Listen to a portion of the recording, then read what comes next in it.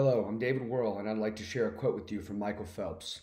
The problem with heart disease is that oftentimes the first symptom is fatal. Unfortunately, many of us have known someone who has suffered from heart disease, and we know how fast it creeps upon us. I personally have had multiple experiences and have encountered heart disease on numerous occasions. This is why I've decided to do extensive research on the matter of heart disease.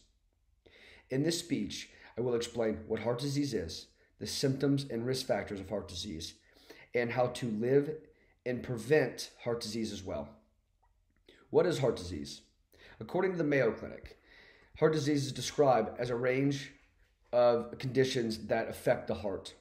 Under the category of heart disease are coronary artery disease, arrhythmia, which is a heart rhythm issue, heart defects from birth, among others. According to the Mayo Clinic, heart disease is used interchangeably with cardiovascular disease. Cardiovascular disease is where it gets a narrow or blocked blood vessel that leads to heart attack or stroke. Heart disease is the number one cause of death in the United States, according to the American Heart Association. The main contributor is the lack of commitment to a heart healthy lifestyle.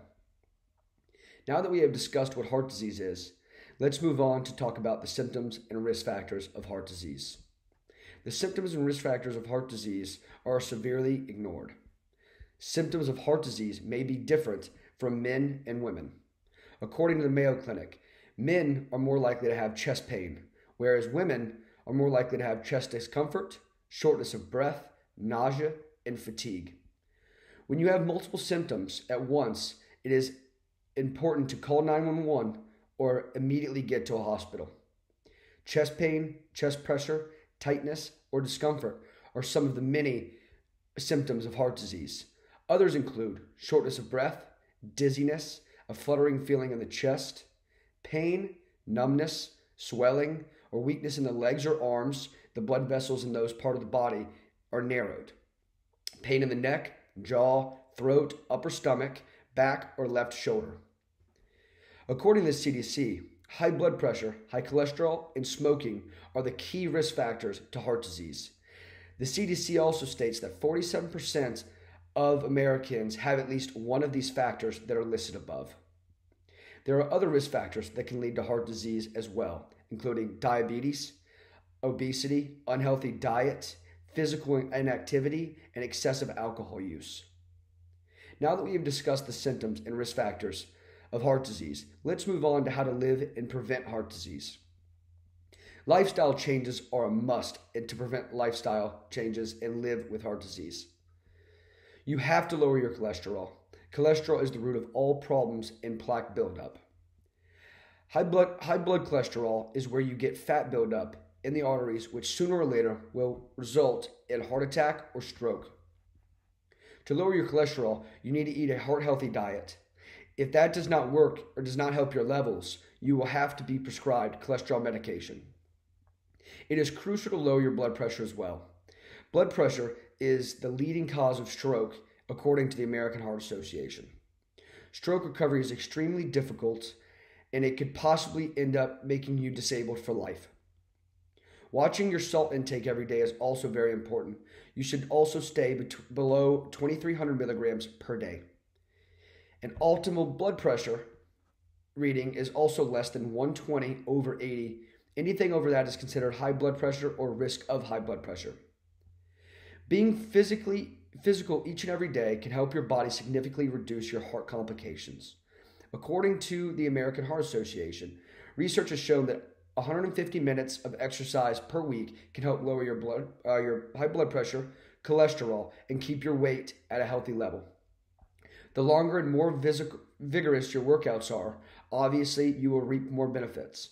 It does not need to be vis- vigorous uh, exercise though.